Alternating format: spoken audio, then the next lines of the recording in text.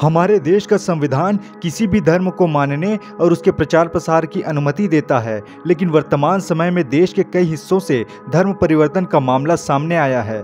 खासकर हिंदू धर्म के लोगों का किसी दूसरे धर्म को अपना लेने का मामला बहुत बड़ी चर्चा का विषय बना हुआ है। आखिर क्या कारण है कि बहुत से हिंदू अपने मूल धर्म को छोड़कर किसी दूसरे धर्म को अपना रहे हैं? दरअसल हिंदू धर्म में हज़ारों सालों से वर्ण व्यवस्था चली आ रही है, जिसके कारण उच्च वर्ग के लोगों ने निचले तबके के लोगों को हमेशा से आर्थिक, सामाजिक और राजनीतिक तौर पर दबा के रखा।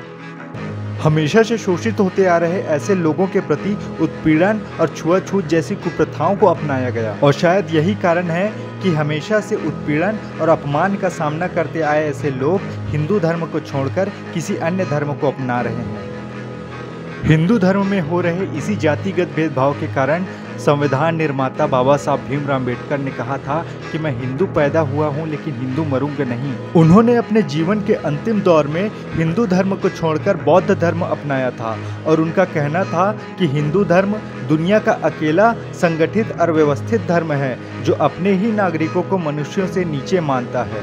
लेकिन धर्मांतरण का दूसरा पक्ष यह भी है कि हमारे देश में कई ईसाई मिशनरी गरीब हिंदुओं को पैसे का लालच देकर या चमत्कार की मदद से रोग के इलाज का भरोसा देकर उनका धर्म परिवर्तन करवा रहे हैं। संविधान में भले ही अपनी मर्ज़ी के धर्म को मानने और उसके प्रचार प्रसार की आज़ादी है, लेकिन बल या प्रलोभन देकर धर्म परिवर्तन के लिए कई राज्यों ने धर्मांतरण विरोधी कानून लागू किए हैं, जिसके अंतर्गत दोषियों को 10 साल की सजा मिल सकती है।